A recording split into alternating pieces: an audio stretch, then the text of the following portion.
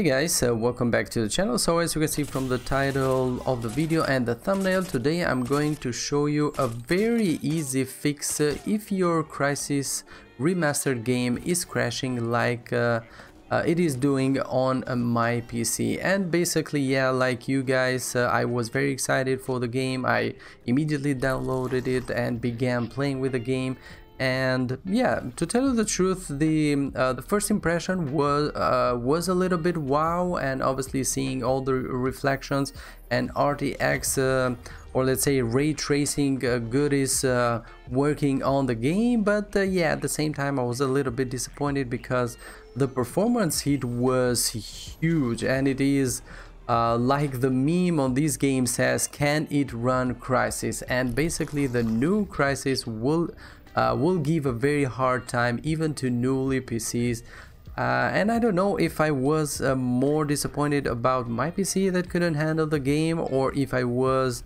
more disappointed about the developers that haven't maybe uh, maybe optimized the game very good like uh, it was back on 2007 but yeah definitely you need to keep in mind that the running Crysis 2020 edition remastered edition is going truly to be but can need to run Crysis. Anyway, we're not here to talk about this because I'm working on that, showing you guys the difference uh, in the performance and maybe the difference uh, between the original 2007 Crysis and the new 2020 Crysis, but obviously that is going to be for another video. In this video, I'm going to show you guys how you can fix the crash if you are having uh, the same crash as me. So basically, when I play the game, uh, in about maybe 15 minutes to 20 minutes, um, a maximum of 30 minutes, the game just crashed, uh, it closed itself with no notification and jumped back uh, uh to the desktop. And um, the way you can fix this crash is very easy. Basically this was uh, the solution for me so hopefully it's the same for you.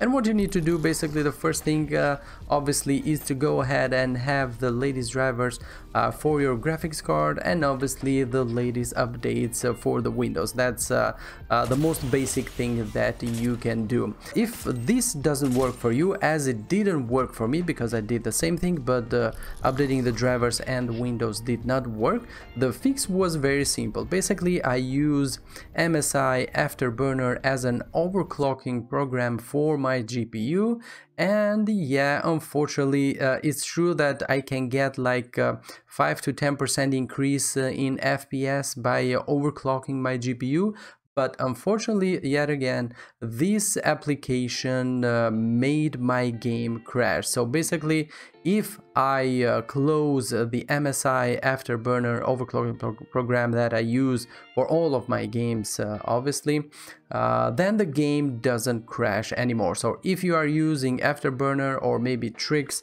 or maybe uh, EVGA Precision or any other application that you might have for overclocking you need to close this application uh, at all from your system. So basically close it um, in here but make sure even on the task manager that uh, the app this application is closed.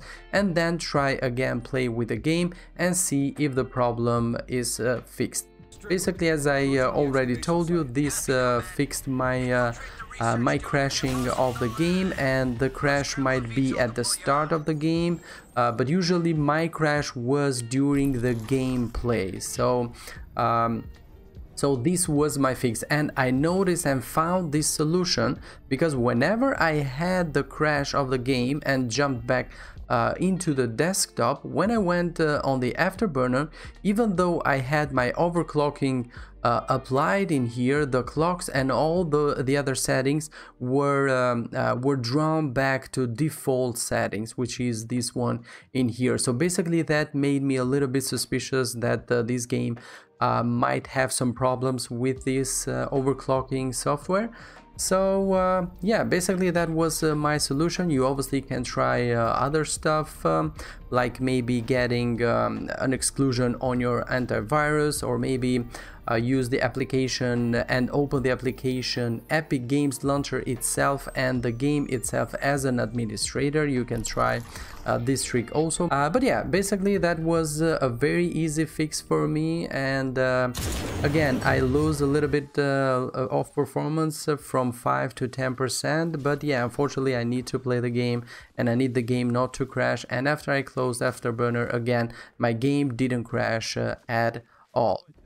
Yeah, so that was it for today. Hopefully this problem or this method fixes your problem or your crash that you might have with the a new Crysis Remastered or 2020 edition. And you guys can have a good time and enjoy that beautiful masterpiece because although the game is still from the era of 2007 uh, I consider this game to be a masterpiece at least for uh, for the graphical settings uh, that uh, that bring to the table at that particular time. And apparently they did it again with the remastered 2020 edition because again it doesn't matter what PC you have if you uh, get this game and if you get it over 1440p 4K with all the goodies uh, on at Can It Run Crysis? Well, it will basically be Can It Run Crysis for you because I think it will not. So you have to crank down many, many options to be able to